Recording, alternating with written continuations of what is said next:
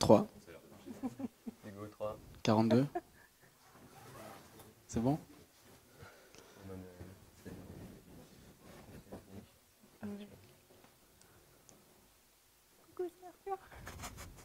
Hein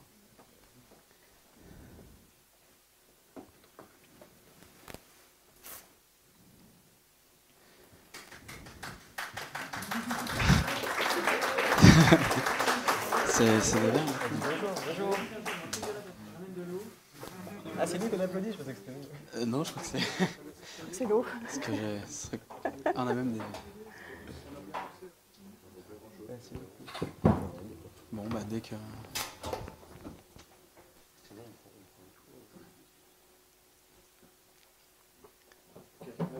C'est bon? Ok.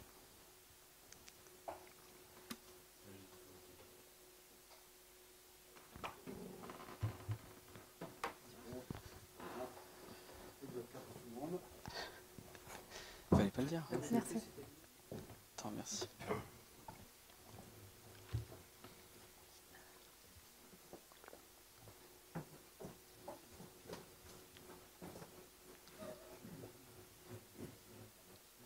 Moi, je n'ai pas d'autre. Je veux bien. Bon, bonsoir à tous. Euh, bah, merci d'être venus euh, pour cette petite présentation. La loi renseignement.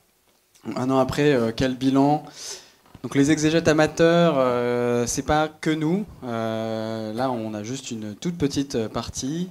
Je vais Juste présenter un peu euh, brièvement les exégètes amateurs. Qu'est-ce que c'est? C'est tout simplement un, petit, un petit surnom, un petit sobriquet donné à une bande de, de, de juristes et enfin des geeks en fait de plusieurs associations. On a premièrement French Data Network (FDN) qui est un fournisseur d'accès internet associatif.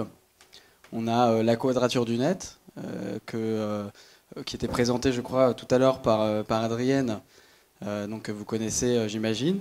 Et on a aussi la Fédération des fournisseurs d'accès internet associatif qui regroupe euh, 28 je crois, tu me corriges si je me trompe, fournisseurs d'accès qui sont en France ou, en Belgique, qui, comme FDN, fournissent de l'accès Internet propre et neutre.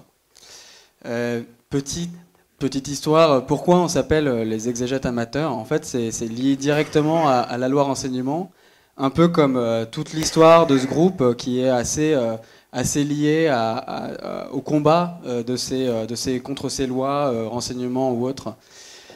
Alors, les exégètes amateurs, c'est une expression euh, de l'ac- la- l'actuel euh, ministre de la Justice, euh, Jean-Jacques Urvoas, euh, que nous, on préfère appeler, euh, alors toi, tu préfères l'appeler papa, euh, sinon, on l'appelle aussi notre aimé euh, et féal chevalier, parce qu'on a trouvé un décret euh, de la fin du 19e où euh, le ministre de la Justice est appelé comme ça.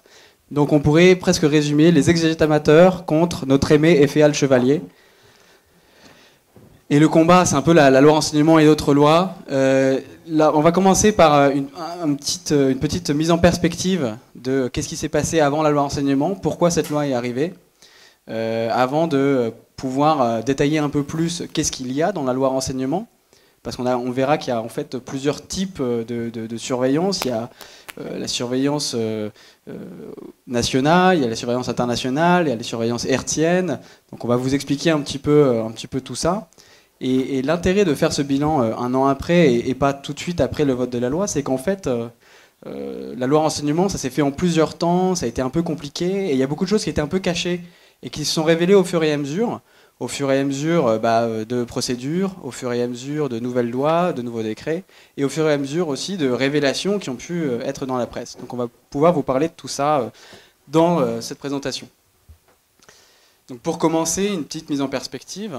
La loi renseignement, c'est une loi qui vient reformuler le, cadre juridique encadrant les activités des services de renseignement. Euh, c'est un cadre euh, qui, en France, n'a pas été euh, posé euh, très, euh, euh, clairement. Et pour, la petite histoire, euh, la première loi en France qui va vraiment euh, encadrer, euh, par exemple, les interceptions, euh, les écoutes téléphoniques euh, faites par le pouvoir euh, politique, euh, par le président de la République ou par le Premier ministre, c'est une loi de, de 1991.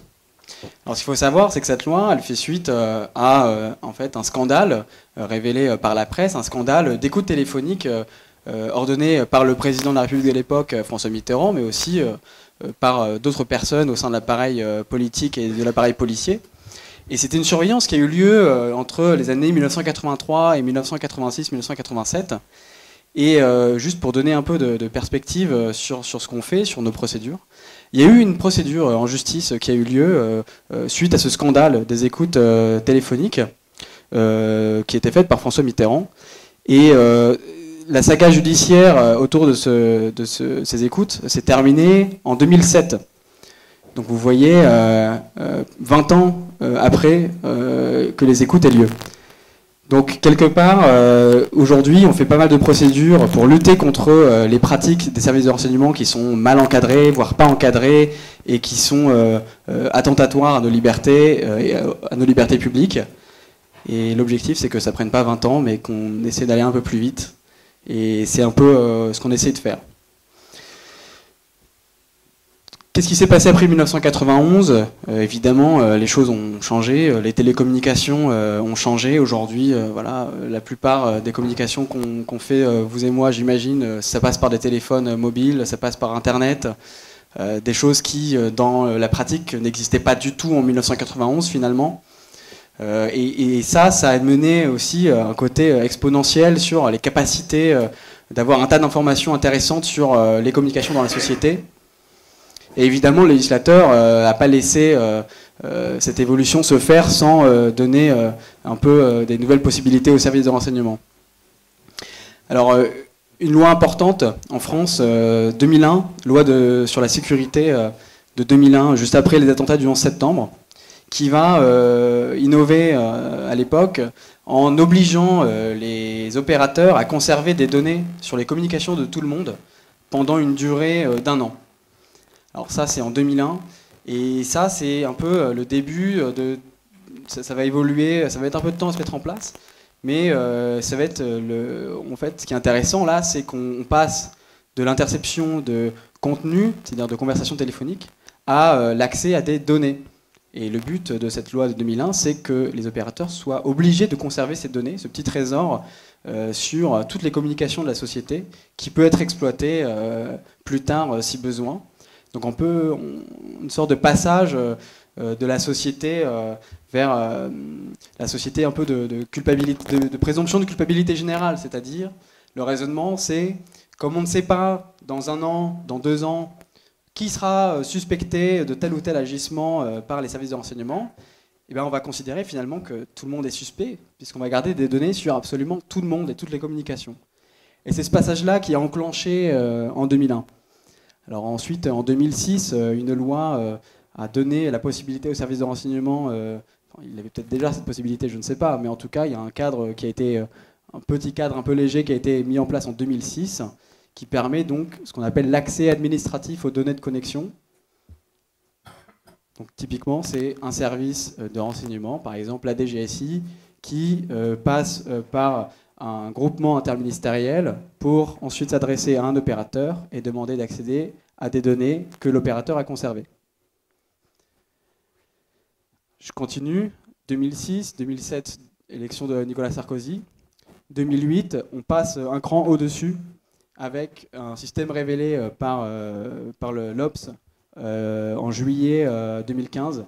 Un système mis en place par la DGSE pour euh, intercepter euh, massivement euh, des, euh, flux euh, de communication euh, qui passent par les câbles sous-marins. Et, donc là, euh, en fait, on est dans un cadre euh, complètement euh, inconnu, c'est-à-dire ça a été révélé par la presse. Il n'y avait aucune loi euh, dont on avait connaissance qui permettait ça. Il n'y avait aucune loi qui venait l'encadrer. C'est vraiment un truc révélé par la presse, un petit peu comme les écoutes téléphoniques de l'Elysée en 1983-1986 finalement. Et donc la loi renseignement, l'idée de cette loi, c'est de dire, enfin en tout cas la proposition, la, manière dont c'est vendu au Parlement euh, et aux médias euh, par les concepteurs de cette loi, euh, notre actuel ministre de la Justice, c'est de dire on va poser un cadre assez pratique et on va fonder une grande loi sur l'activité des services de renseignement pour assurer un équilibre entre la protection de la vie privée et l'efficacité du système de l'État. Ce qui en fait pas du tout le cas, comme on va vous le démontrer. Nous, on pense que, que cette, loi est une énorme mascarade. C'est un vrai, à la fois un blanchiment législatif, parce que ça a mis dans la loi des pratiques des services de renseignement qui n'étaient pas autorisées auparavant. Donc voilà. Euh, et en même temps, euh, euh, une loi qui, qui, qui, a, qui, a, encore quelques secrets, quelques trucs cachés qu'on n'a pas vu tout de suite et dont on va pouvoir vous parler maintenant. Juste brièvement, pour présenter aujourd'hui les exégètes amateurs, qu'est-ce qu'on a fait? On a lancé aujourd'hui, je crois, plus de 15 procédures depuis décembre 2014 contre les, lois et les décrets sur les activités des services de renseignement, sur le blocage de sites euh, qui ne passent pas par un juge, etc. Donc euh, voilà, on continue les procédures. Le but étant euh, d'essayer de faire appliquer le, respect des droits fondamentaux et de faire reconnaître que, que l'activité des services de renseignement est aujourd'hui en France mal encadrée et, attentatoire à nos libertés. Ok, je prends le micro Ok, donc là c'était Hugo qui vient de parler, moi je suis Arthur, à côté de moi c'est Laurie, si c'est fait. Euh, donc là, on va vous détailler euh, vraiment toute la loi renseignement. Donc, comme Hugo l'a dit, il y a plusieurs niveaux de, surveillance. on va commencer par le niveau le droit commun, le plus simple, qui euh, qu'il faut détailler vraiment, je pense, finement pour que vous compreniez les, différentes découvertes qu'on a fait ou les différentes choses qui ont été révélées dans les procédures. Donc, cet, exposé sur la loi renseignement, en gros, on va le diviser en trois étapes. D'abord, les conditions pour pouvoir surveiller les gens. Ensuite, les mesures qui sont mises en œuvre par les services pour surveiller les gens. Et enfin, euh, quel contrôle est fait par les institutions ou les juges de cette surveillance Moi, je vais commencer, je, vais traiter toute la partie euh, sur les, euh, sur les conditions pour surveiller les personnes.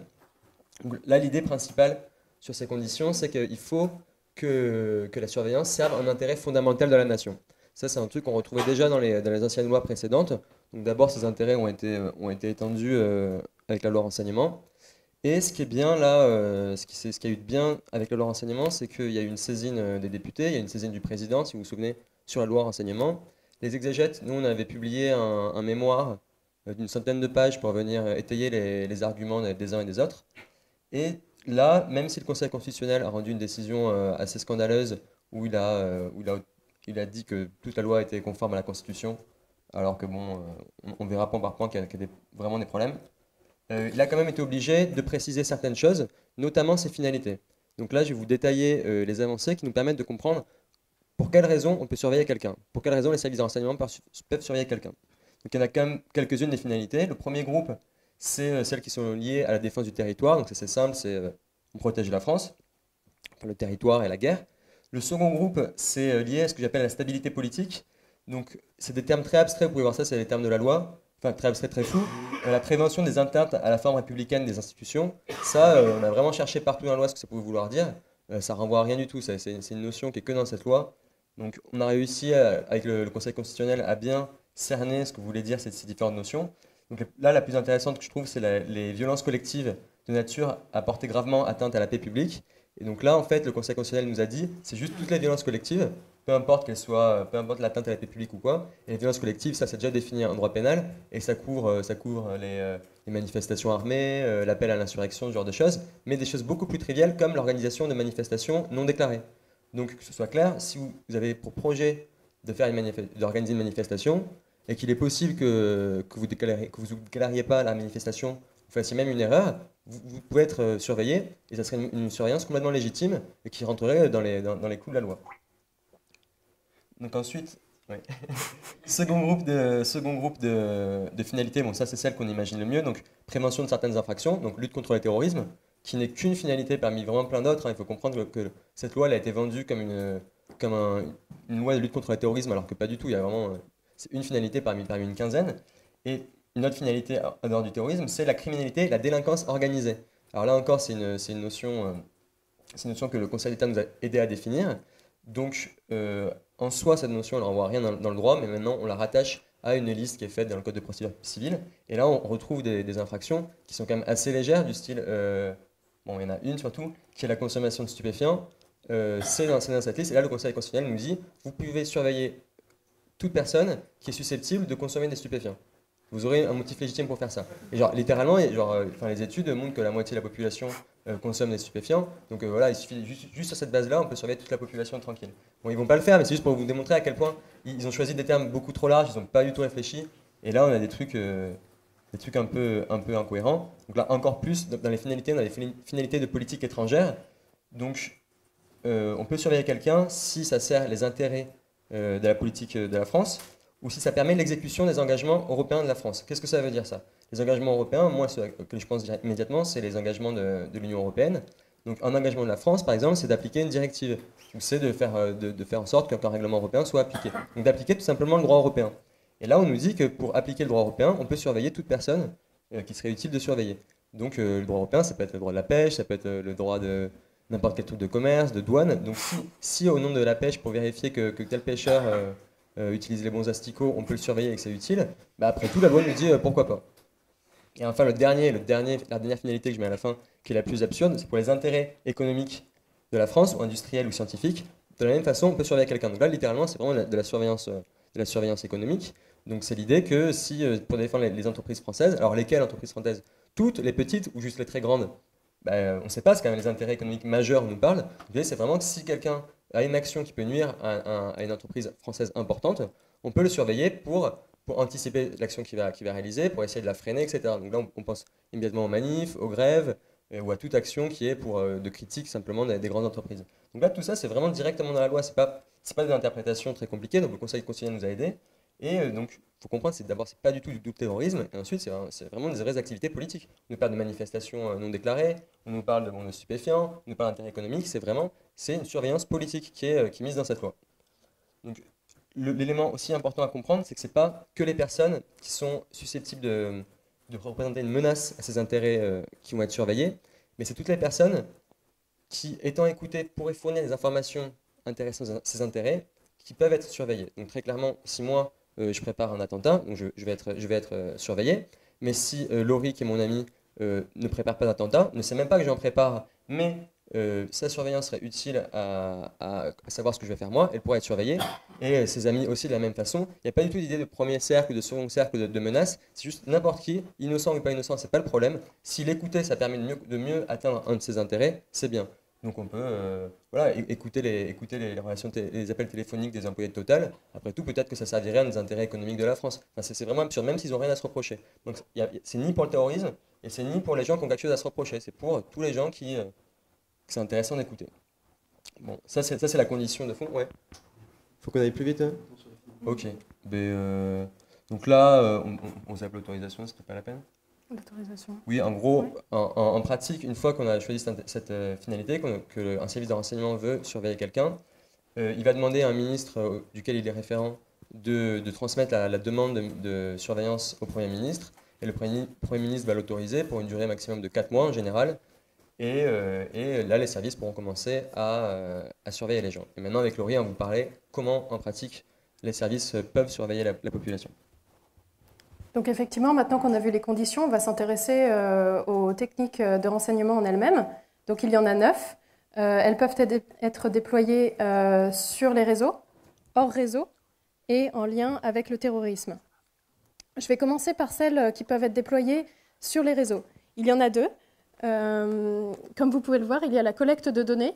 Donc ça, euh, Hugo en a parlé déjà à partir de 2001, euh, une obligation pour, pour les opérateurs, les, hébergeurs et les fournisseurs d'accès Internet, les FAI, a été créée de garder certaines données.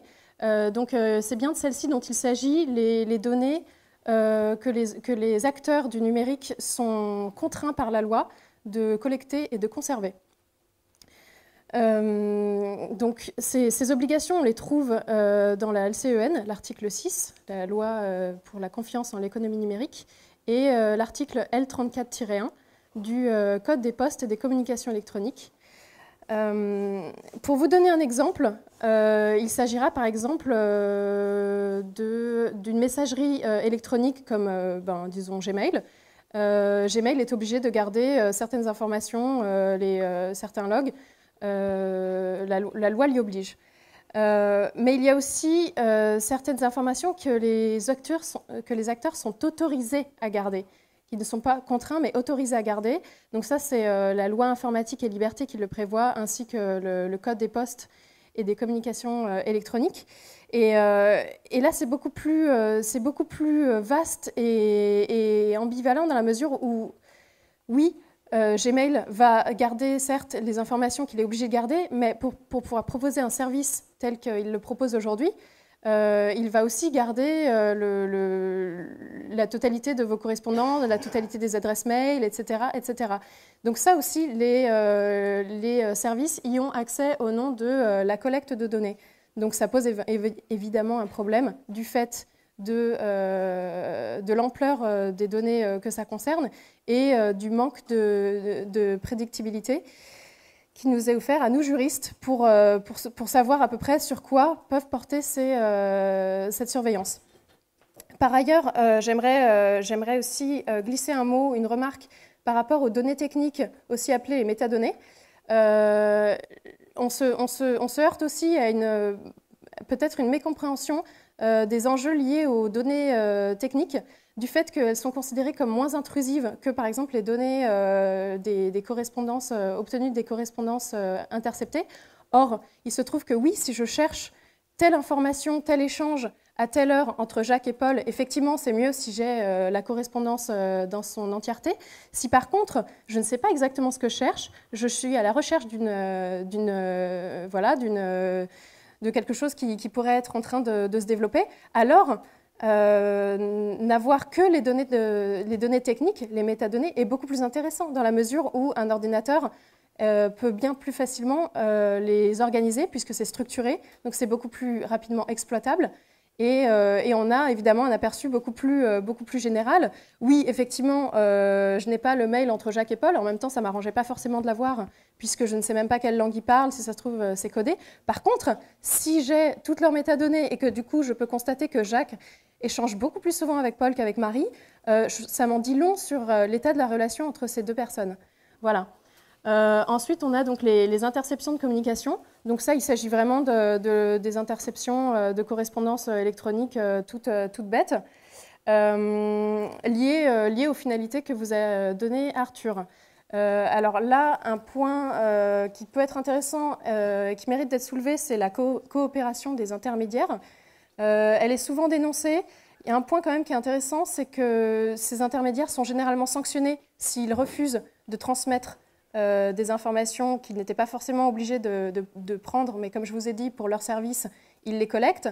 Euh, ils sont généralement sanctionnés pour non-coopération, par contre, ils ne sont jamais sanctionnés pour, euh, pour excès de zèle.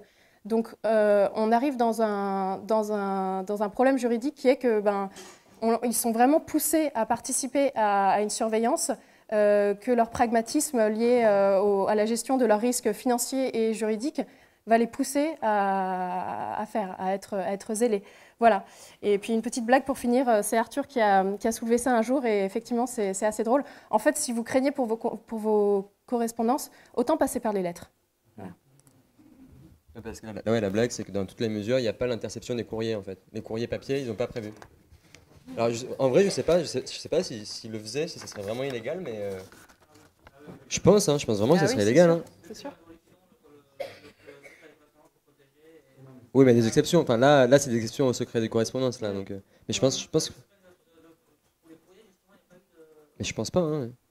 Ah, ok. Tenez sûr, ok.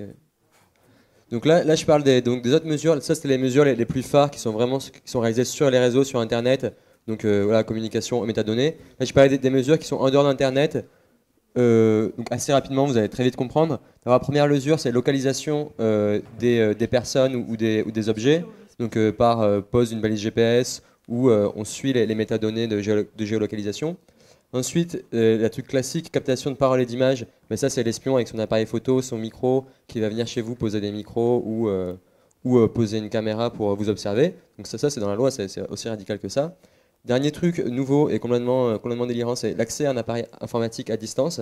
Donc l'idée c'est vraiment aller chez les gens ou par l'extérieur avoir accès à leur machine mettre des virus dessus tout simplement pour pouvoir accéder à leur webcam, euh, pour poser des keyloggers, pour, euh, pour vider toutes les données qui sont stockées. ça c'est nouveau et c'est et c'est vraiment pas, pas limité. Hein. C'est vraiment vous faites ce que vous voulez pour accéder aux, données contenues sur un, appareil. Tout ça, toutes ces mesures, on peut s'introduire chez les gens dans un lieu privé pour les mettre en œuvre. Et, euh, la dernière mesure dont on a pas, mal parlé pendant les débats euh, il y a un an, c'est celle qui prévoit les IMSI catchers et tous les dispositifs qui permettent de recueillir des données dans la nature, en dehors du, réseau. Donc ça, on va revenir dessus un peu plus tard sur les IMSI catchers. On va pas en parler maintenant parce qu'en fait, ça fait partie des trucs qu'on a découverts. Et en fait, ce débat, on le trouve beaucoup moins intéressant maintenant. Et ça, on verra plutôt à la fin, à la fin de l'exposé. Et enfin, le troisième groupe euh, de, techniques de renseignement qui peuvent être mises en œuvre, euh, ce sont les techniques propres au terrorisme. Donc là, il s'agit vraiment de techniques euh, vouées à, à, rechercher des activités terroristes, des, comportements, voilà. Et donc, dans ce groupe-là, on a les détections de connexion relevant d'une menace, révélant une menace, pardon. Euh, donc là, il s'agit vraiment des boîtes noires. Donc les boîtes noires, il y a eu euh, beaucoup de, un grand débat euh, au sujet des boîtes noires. Donc de quoi s'agit-il vraiment? Il s'agit de, mouchards qui scannent le trafic afin de découvrir ce, ont, ce, qui a été appelé des signaux faibles, c'est-à-dire des, débuts de, de comportements ou d'activités terroristes. Le problème, c'est que, le problème, c'est que ces mouchards, ils sont, ils sont, posés, ils sont posés chez les, opérateurs et les, la FAI ouais, on imagine. Et, euh, et ils analysent tout, euh, même si du coup, euh, vous, n'êtes absolument, il n'y a aucun moyen de penser que vous êtes lié ou pas à une infraction. De toute façon, votre trafic est analysé. Il n'est pas forcément analysé avec votre nom à côté, d'ailleurs, ce n'est pas le cas, mais il est quand même analysé. Et rien que ça, ça pose un problème.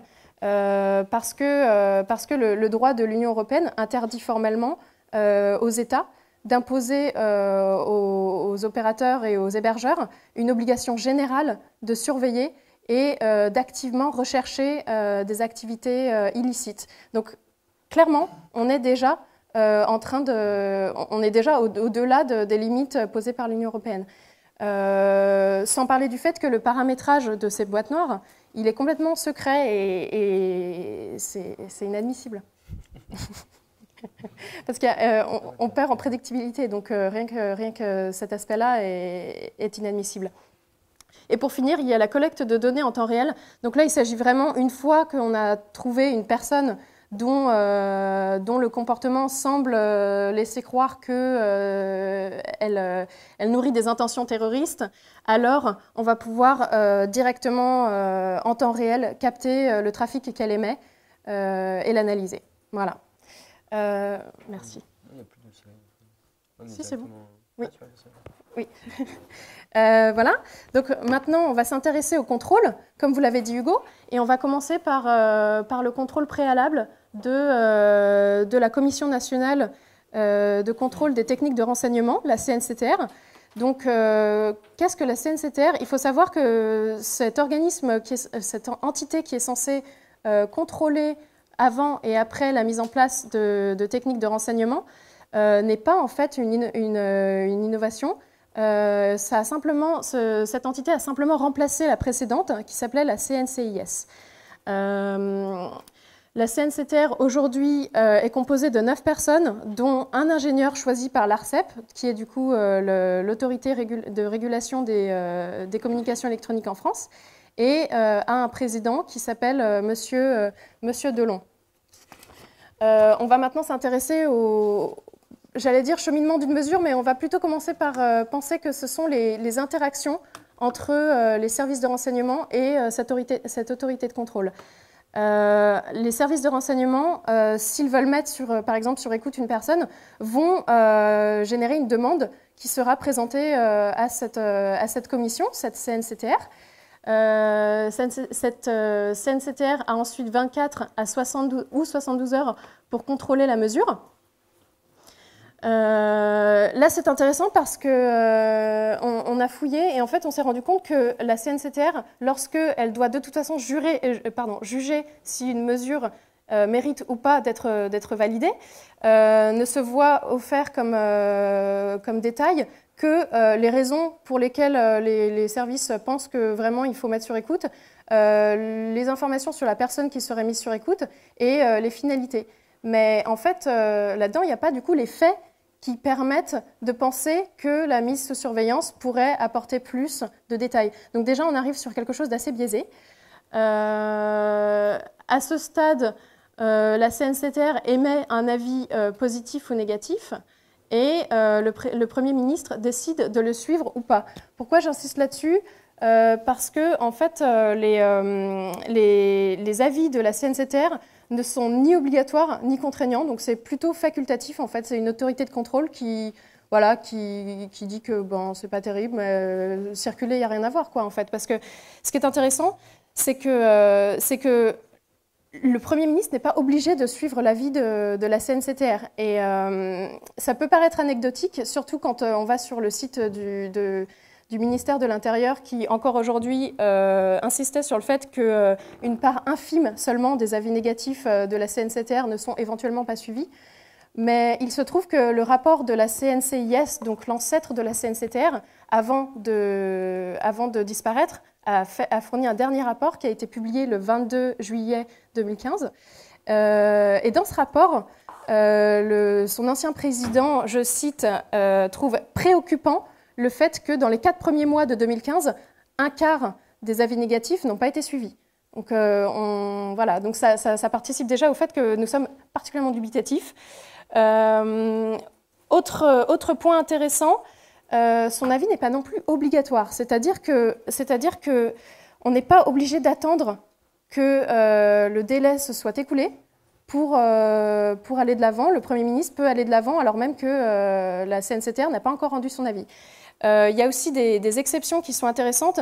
Une exception qui rassure dans la mesure où pour, pour, poser, pour, pour procéder à la sonorisation d'un lieu, et pour, euh, euh, pratiquer euh, certaines intrusions, on est obligé d'avoir l'accord de la CNCTR.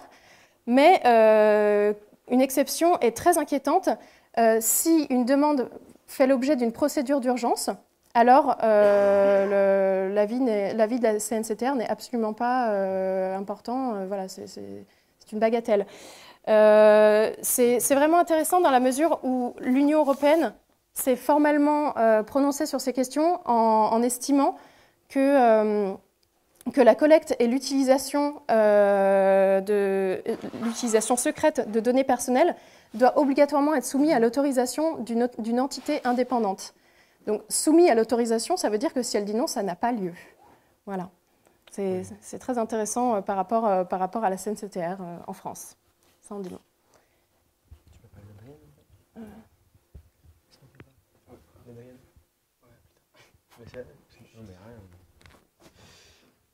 Euh, oui, juste euh, un, point intéressant aussi, euh, il faut, faut, voir en, termes de, par exemple, d'accès aux données de connexion. Il y a un article dans Next Impact qui, qui, qui, montre que la CNCTR a fait face à en gros 110 demandes des services d'enseignement par jour pour accéder à des données de connexion. Voilà. La, CNC, la, commission, elle a 8 membres. Hein. Euh, dont 9 euh, pardon, 9 membres. Et ils sont pas tous à plein temps. Donc euh, vous imaginez voilà, le type de contrôle que c'est. Je vais vous parler aussi du, contrôle ultérieur, c'est-à-dire une fois que la, que l'autorisation, enfin l'autorisation donnée par le Premier ministre, je vous rappelle, de, l'utilisation de techniques de renseignement a été donnée, il y a un autre de contrôle, c'est ok, qu'est-ce qui se passe après? Est-ce que, la technique a bien été mise en œuvre? Est-ce que c'est pas allé trop loin? Est-ce que ça a respecté euh, les termes de l'autorisation? Euh, Ce genre de, contrôle. Et alors là, tout de suite, en fait, euh, il y a une énorme question qui est le, grand absent du contrôle des services de renseignement tel que prévu par la loi renseignement C'est tout simplement le juge, le juge judiciaire. Et là, c'est euh, de notre point de vue, l'un des, plus gros problèmes de cette loi, parce qu'en en fait, euh, quand on voit par exemple euh, les, comment dire, les activités de surveillance qu'on a dans la procédure pénale, l'objectif de la procédure pénale, c'est d'avoir l'intervention des juges judiciaires pour avoir en fait des contre-pouvoirs pour s'assurer que les, les droits, libertés soient respectés. Or ici, ce n'est pas du tout le cas. Le contrôle n'est pas du tout fait par le juge judiciaire. Il est fait par la CNCTR, comme vient de le décrire Laurie, mais aussi euh, par le Conseil d'État. Alors le CNCTR, euh, elle a aussi comme mission euh, tout le temps d'être un peu cette vigie et de s'assurer que les services de renseignement font bien leur taf, sauf qu'en fait, dans les faits, même si elle est censée avoir un contrôle, un accès permanent à des tas de données, des rapports, etc., en fait, on voit qu'en pratique, ça n'a pas l'air de fonctionner, puisque l'ancien président de la commission disait que lui, il fallait qu'il y ait une certaine centralisation et la loi renseignement ne le prévoit pas. Donc le contrôle de la de la CNCTR est, pas très effectif a priori.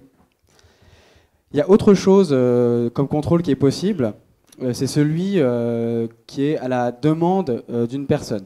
C'est-à-dire par exemple, vous soupçonnez que les services de renseignement vous surveillent de manière injustifiée ou illégale, vous avez la possibilité de faire une réclamation à la CNCTR.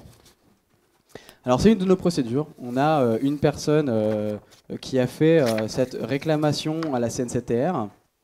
Et alors là c'est assez marrant parce que je peux vous dire que c'est un contrôle qui marche très très bien. Je pense qu'on a la, commission de contrôle des services de renseignement la plus efficace du monde. parce que non seulement ils font 109, ils traitent 109 demandes d'accès aux données par jour, mais en plus quand une personne leur demande s'il vous plaît vérifiez que dans tous les services de renseignement il y en a beaucoup parce que la liste est allongée, il n'y a pas eu des trucs euh, illégaux qui ont été faits.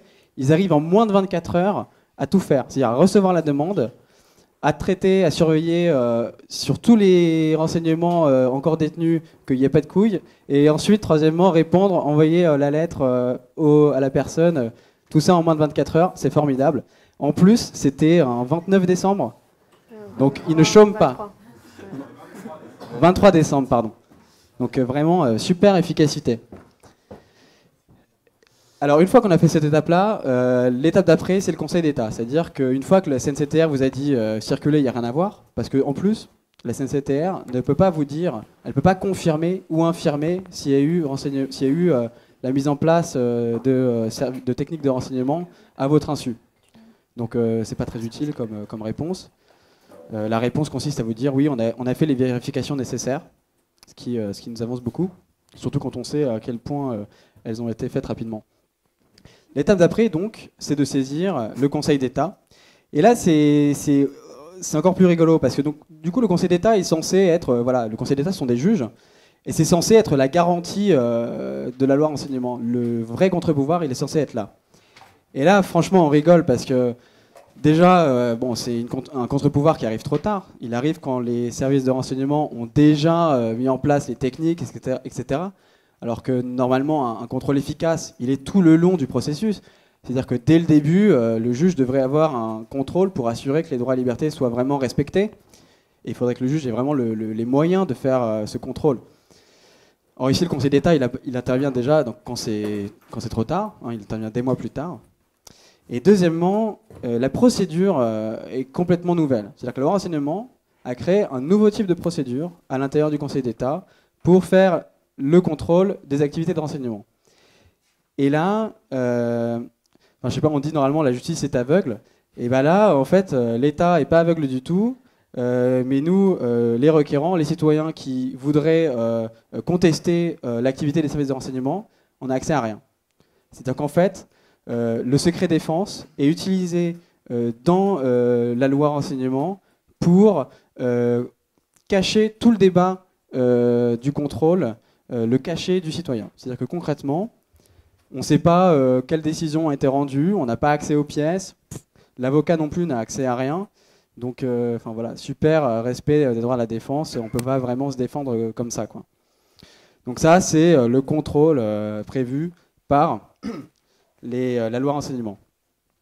Et alors, dans sa grande bonté, le concepteur de la loi renseignement a permis au juge judiciaire quand même d'avoir un truc pour lui, le juge judiciaire, si dans une procédure pénale par exemple, euh, il se dit euh, est-ce qu'il n'y a pas eu des, techniques de renseignement mises en place contre cette personne? Et eh bien, Le juge euh, peut faire une demande au Conseil d'État de vérifier. Donc on a enlevé quelque part une part de pouvoir du juge judiciaire en lui disant tu t'en occuperas pas toi-même, tu iras voir le Conseil d'État. Et tu iras voir la formation spécialisée du Conseil d'État qui va garder les pièces secret défense, etc. Donc en gros, enfin voilà, quand on quand on fait euh, quand on fait du droit, qu'on apprend le respect des droits de la défense, euh, du procès équitable, et qu'on voit ce qui a été mis en place, euh, juste c'est complètement incompatible.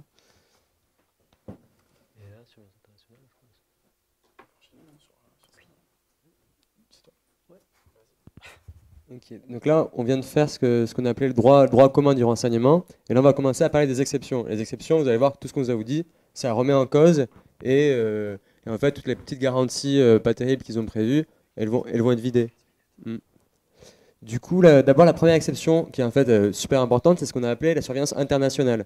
D'abord, dans la loi renseignement première version, il y ils avaient mis des, mesures de, surveillance internationale qui avaient été censurées par le, par le Conseil constitutionnel. C'était la seule censure. Euh, et en fait, même si c'est censuré, le gouvernement a refait passer une loi en faisant passer une proposition euh, avec l'aide des, parlementaires. Et euh, une loi en fait qui reprend ce qui avait été censuré en corrigeant deux trois trucs.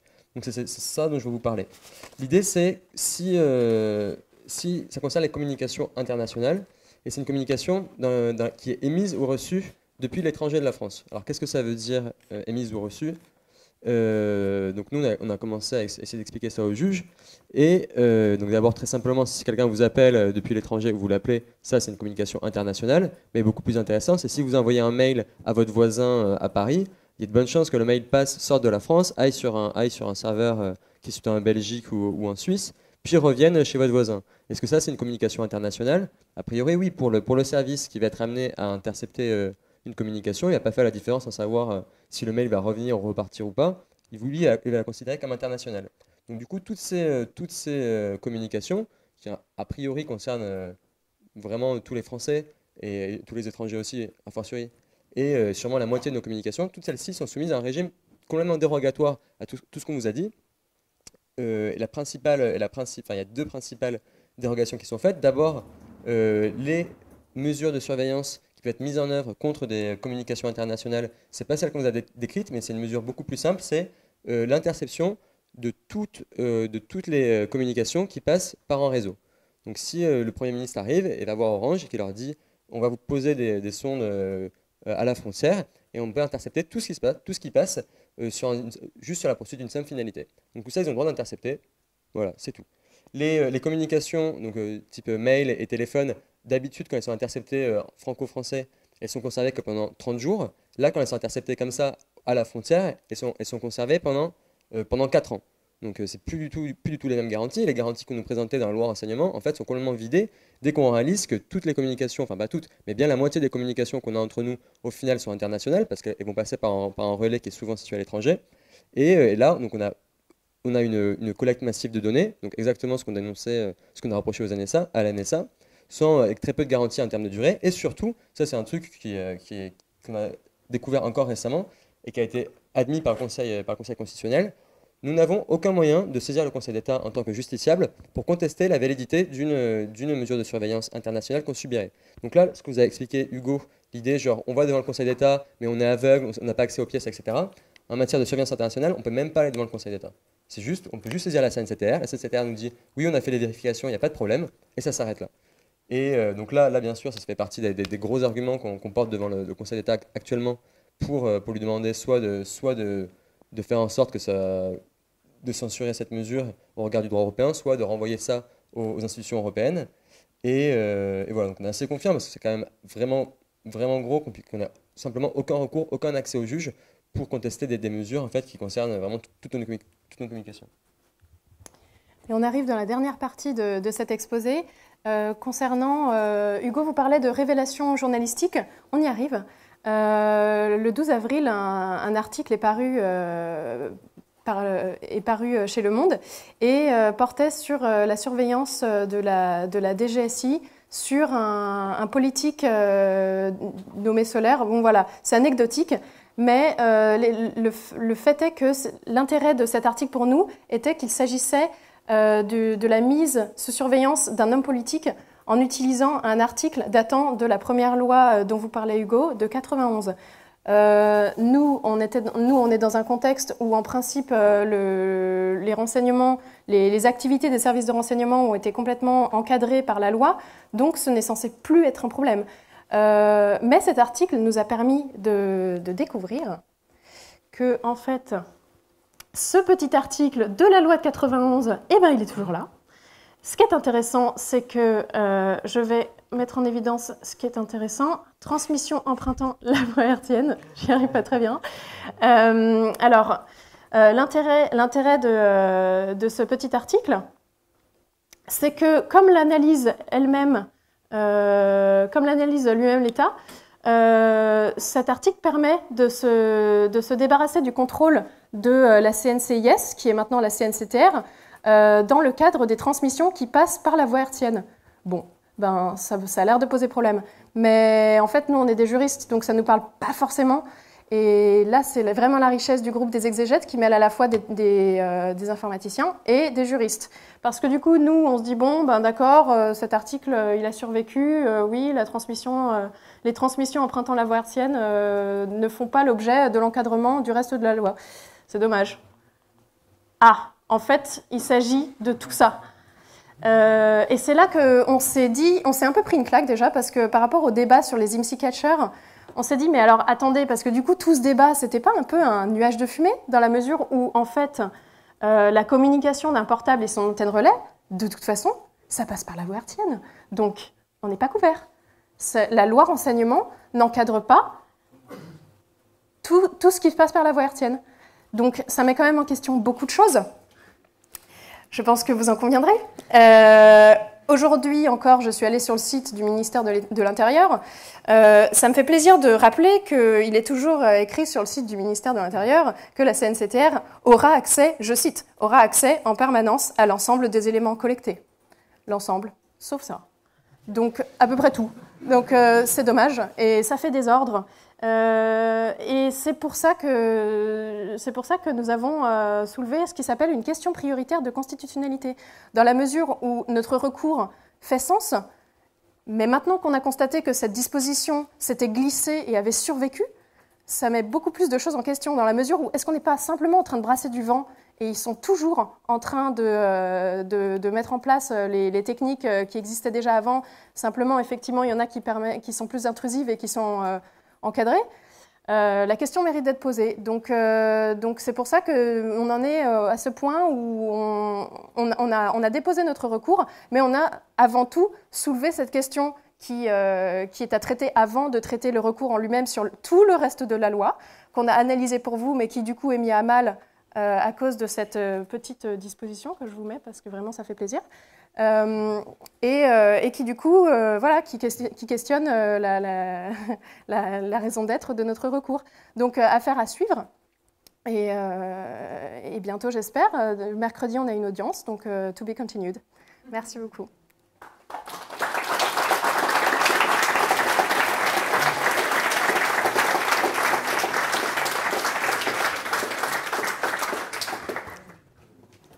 si vous avez des questions. Qui veut voir le bal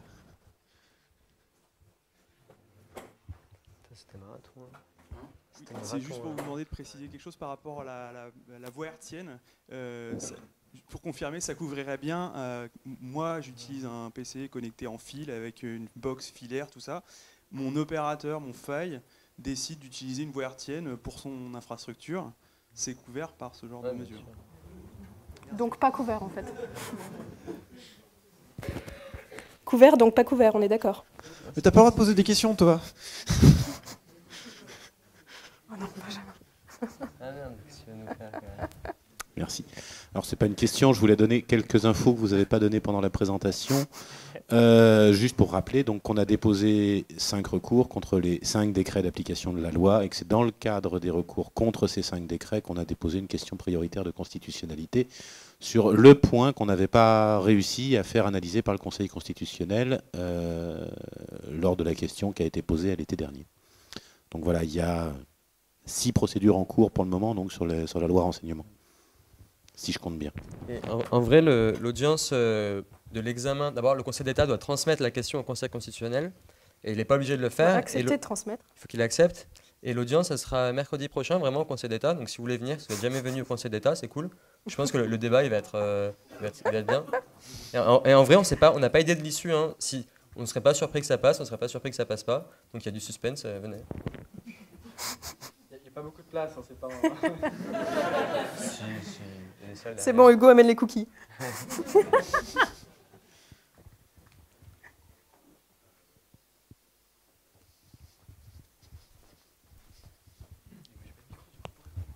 Euh,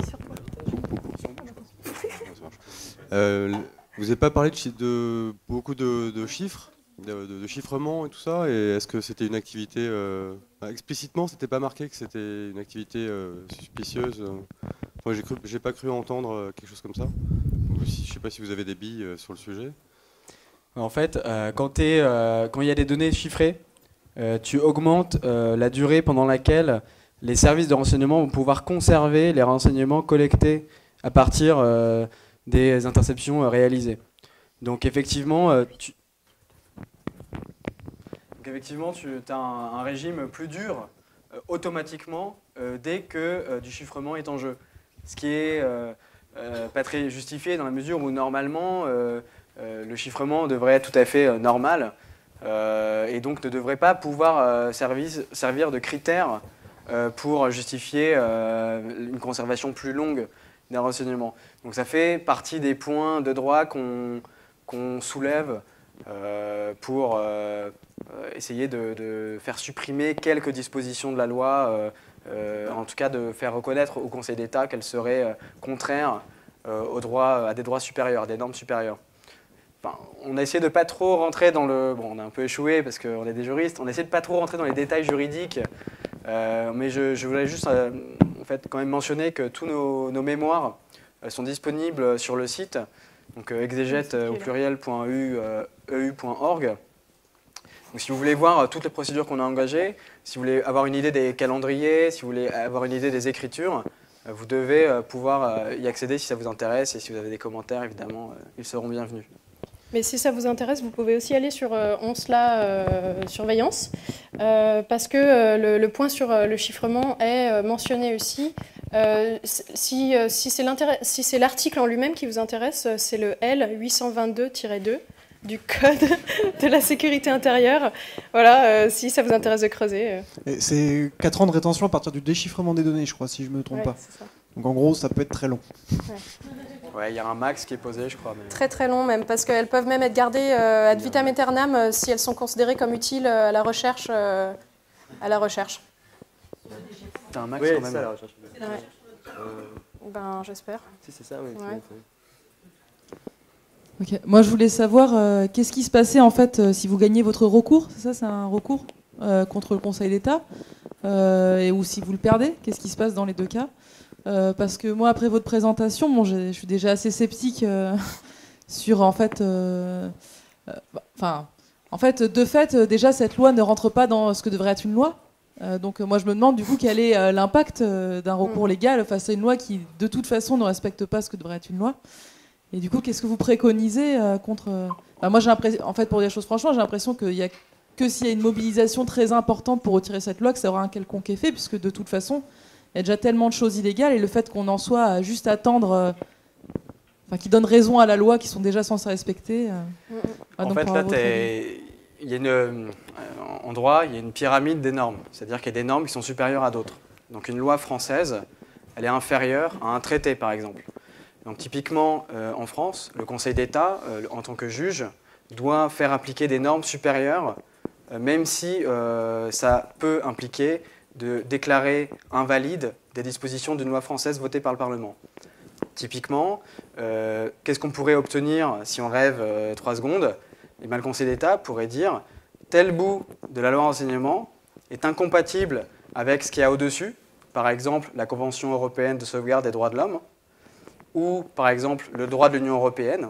Et donc nous, ce qu'on fait dans le recours, c'est qu'on mobilise des arguments venant de normes supérieures pour essayer d'obtenir la déclaration d'invalidité de certaines parties de la loi renseignement. Alors après, est-ce qu'on va l'obtenir Euh, Pas super optimiste. voilà.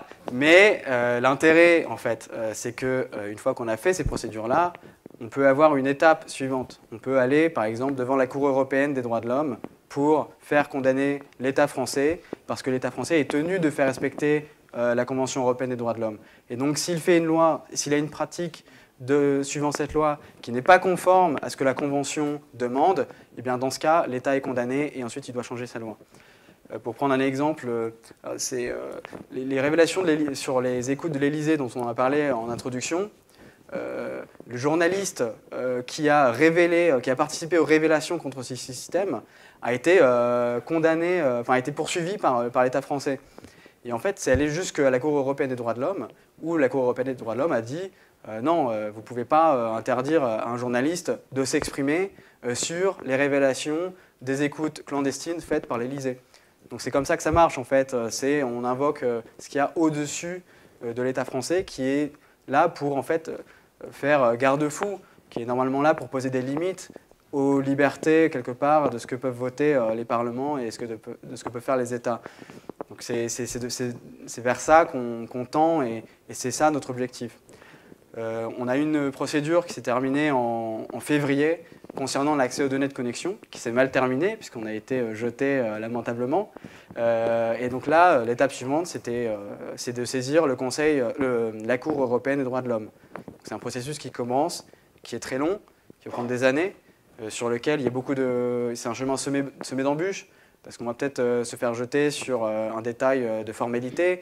Si on numérote mal les pièces, on peut se faire jeter. Donc bon, pour l'instant, euh, on vient de s'engager dans cette voie-là, mais le but euh, ultime, euh, c'est ça, c'est de faire respecter le respect, de faire respecter pardon, le- les, droits fondamentaux euh, par l'État français qui euh, euh, s'est engagé à le faire en signant la Convention européenne des droits de l'homme et en adhérant à l'Union européenne.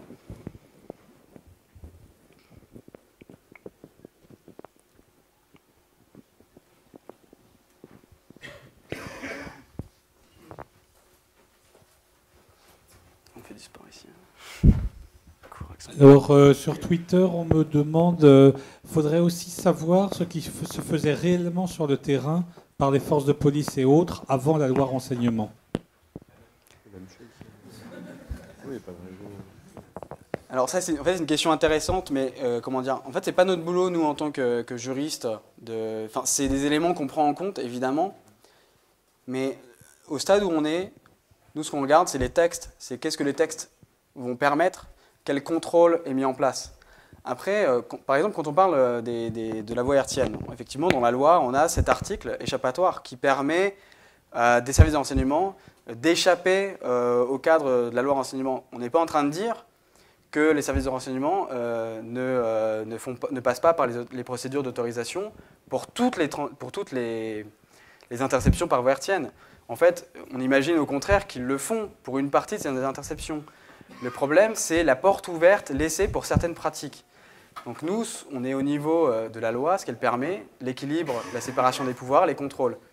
Après, ce que les services de renseignement font vraiment, euh, ça c'est une question pour les journalistes, c'est une question pour... euh, euh, voilà. Et donc, si on est intéressé et si on veut des réponses sur ça, il faut faire du travail d'enquête journalistique sur le terrain. Évidemment, nous, on est, euh, on est dans les textes, on ne peut pas répondre, on, on fait juste de l'exégèse, nous. On saisit le juge. On ne peut pas répondre à cette question vraiment. Alors après, effectivement, si on lit Next Impact, euh, on a euh, des infos intéressantes. euh, les, révélations de l'Obs sur, le, sur les interceptions qui ont lieu depuis 2008 euh, sont, étayées et vachement intéressantes. Donc ça, il y, a- quand même des éléments, si on regarde dans la presse, des éléments de réponse. Du coup, ça me fait penser, euh, en pratique, on, pense quand même qu'avant la loi renseignement, c'était principalement les services de renseignement, donc DGSE, DGSI, euh, TRACFIN, vraiment les services spécialisés du renseignement, qui, faisaient de la surveillance. Là, une grosse nouveauté dans la loi renseignement, c'est que par décret, le gouvernement peut lister euh, des administrations, donc la police, euh, police des douanes, police des machins, des petits trucs qui n'avaient pas du tout l'habitude de faire du renseignement, et maintenant on peut leur donner le pouvoir de faire ça. Donc là, on, se retrouve avec des administrations qui n'ont pas du tout l'habitude de- de- d'être espions, et qui qui vont avoir des grands pouvoirs tout d'un coup, du jour au lendemain. Alors là, même, même il y a une section au Parlement qui est censée surveiller les activités de renseignement, et même cette section s'inquiète de dire, mais du coup, est-ce qu'on ne va pas complètement diluer nos énergies? Est-ce qu'il ne faudrait pas mieux se concentrer sur la lutte contre le terrorisme dans les mains de la DGSE, DGSI, qui eux savent faire ce taf? Est-ce que là, les, gens ne vont pas se marcher sur les pieds? Est-ce que c'est bien raisonnable de, donner des pouvoirs de, de contrôle des mœurs euh, euh, pour une petite administration pour surveiller la population? Voilà. Donc ça, c'est nouveau. Ça, dans la pratique, on va voir apparaître des espions euh, sortis de nulle part, pas du tout formés, et il faudra suivre là. Donc c'est pas que la DGSE, actuellement toutes les révélations, c'est plutôt sur la DGSE, là on va voir d'autres trucs. Ouais, voudrais juste faire euh, une petite euh, pub pour des articles qui ont été publiés dans Mediapart, une série de trois articles sur comment fonctionnent concrètement les services de renseignement. Et vous verrez, c'est assez rigolo et c'est assez effarant en fait. Pour vous donner un exemple, quand on fait les interceptions de conversations téléphoniques, il y a un centre euh, qui est chargé, euh, il y a des personnes qui sont employées pour euh, retranscrire les conversations en mode texte. Donc si vous téléphonez, il y a quelqu'un qui euh, retape dans le texte ce qui vient d'être dit. Et on apprend dans l'article que pour envoyer ces renseignements une fois transcrits dans un texte au service qui les a demandés, ils impriment sur du papier et ensuite ils l'envoient. Et la personne qui reçoit dans le service est chargée de retranscrire dans un fichier ce qui est imprimé sur le papier. Ils font Mais- ça pour éviter effectivement parce qu'ils se disent si on- évidemment si on envoie par mail en clair euh, c'est complètement voilà on Mais fait pas une, ça. une clé USB Mais serait peut-être plus simple. sans déconner enfin c'est Et- comme comme ça qu'on fait. Donc tu as des gens qui sont ils, ils ont un surnom entre eux. Ils tapent des kilomètres de transcription. mais euh, Ce qui est intéressant en plus dans ce que dit Hugo, c'est que ce, même article soulève que le problème que du coup ces personnes-là, c'est pas des machines, justement, c'est là le problème. Et euh, du coup, ben, parfois il y a un retard de six mois sur des, sur des, sur des cas. Quoi. Et qu'il est déjà arrivé, c'est une anecdote, semble-t-il, euh, assez, assez, voilà, assez drôle dans les services de renseignement. Il se trouve qu'une fois, ils se sont rendus compte qu'il y avait des gens qui préparaient un attentat sous la Tour Eiffel. Mais qu'en fait, d'un seul coup, ils ont paniqué. Et après, ils se sont dit, ah non, c'était il y a six mois. Bah purée, Ouh, on a encore eu de la chance. Et euh, est-ce que c'est vraiment comme ça que c'est censé fonctionner? Ah oui, et euh, pour euh, compléter ce que disait Arthur euh, sur les personnes qui peuvent être habilitées à, pratiquer, à mettre en place des, techniques, donc les, les, les bénévoles de la Quadrature ont, essayé de, nous donner une estimation de, toutes les personnes qui ne sont pas habilitées mais qui peuvent l'être. On arrive, ça avoisine quand même les 45 000 personnes. Donc c'est vraiment, vraiment des, des chiffres énormes qui sont choquants. Voilà. On a mal- malheureusement plus le temps pour les questions. Donc en tout cas, merci pour cette conférence, d'être venu ce soir. Je pense que tout le monde s'est régalé. Maintenant, ils vont prendre peur.